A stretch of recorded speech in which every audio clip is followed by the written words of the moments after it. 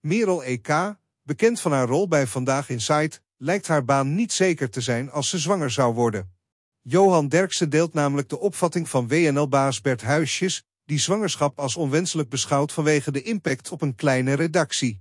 Derksen ziet het als een uitdaging voor een beginnende redactie wanneer een vrouw zes maanden afwezig is en anderen het goed doen in haar afwezigheid. De voetbalanalist verdedigt zijn standpunt in Vandaag Inside, waar hij stelt, zo'n vrouw is zes maanden weg, dan komen er anderen die het goed doen. Dan is het moeilijk om als zij weer terugkomt te zeggen tegen die mensen die het goed doen, nu moet jij weer weg, want zij komt. Wilfred Gené uit zijn onbegrip over deze visie, aangezien mannen nooit in een vergelijkbare positie zouden verkeren. Merel EK, als zester, reageert geschokt op het idee dat zwangerschap als ongewenst wordt gezien binnen het programma.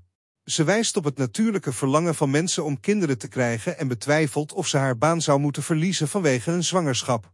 Johan Derksen reageert laconiek en benadrukt de praktische uitdagingen binnen een kleine organisatie. Het gesprek wordt verhit wanneer Merel zich ergert aan Derksens schijnbare onverschilligheid ten opzichte van het gedrag van Bert Huisjes. Derksen bekritiseert de zielige vrouwen die openlijk getuigen tegen Huisjes en toont weinig solidariteit. Hij rechtvaardigt beslissingen van hoofdredacteuren om frisse dames en lekkere meiden in beeld te hebben en suggereert dat terugkerende vrouwen na zwangerschapsverlof mogelijk niet aan dat ideaalbeeld voldoen. Het geheel reflecteert de controverse rond zwangerschapsdiscriminatie en de machtsdynamiek in de media-industrie, met meningsverschillen tussen de generaties en genderkwesties die duidelijk naar voren komen in het verhitte debat binnen Vandaag Inside.